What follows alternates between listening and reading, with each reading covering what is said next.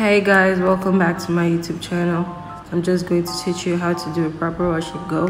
I already shampooed my hair so i don't need to do that anymore.